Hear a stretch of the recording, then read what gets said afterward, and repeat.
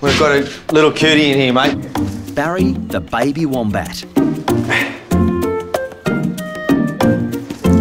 He's a little orphan. He, he came from Scone. His mother was hit by a car. There's something about wombats. Cuteness just exudes out of their big fat heads and their short stumpy legs. Essentially, Barry has a drinking problem.